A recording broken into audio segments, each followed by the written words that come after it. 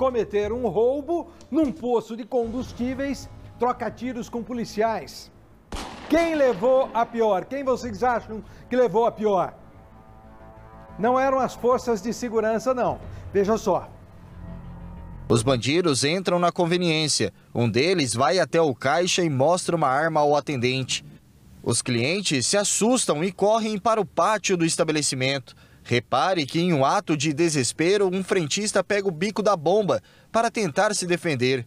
Poucas horas depois, os assaltantes foram encontrados pela PM em um bairro nas proximidades do posto. Três homens estavam em um veículo Corsa e, segundo a polícia, atiraram contra as equipes. Renan Brailon Raimundo de Oliveira, de 24 anos, foi baleado na troca de tiros. Médicos do SAMU foram chamados, mas quando chegaram ele já estava sem vida.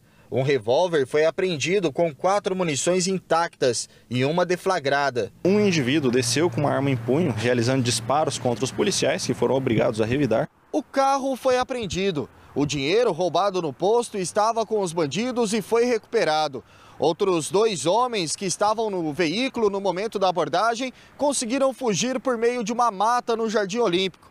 A polícia intensificou o patrulhamento na região e realiza buscas para tentar encontrar os ladrões. O corpo de Renan foi levado ao IML de Londrina.